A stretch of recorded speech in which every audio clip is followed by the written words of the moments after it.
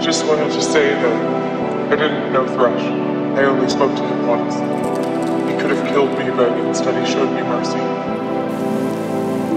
That's a debt I'll never be able to repay. I did know Rue. She wasn't just was my friend.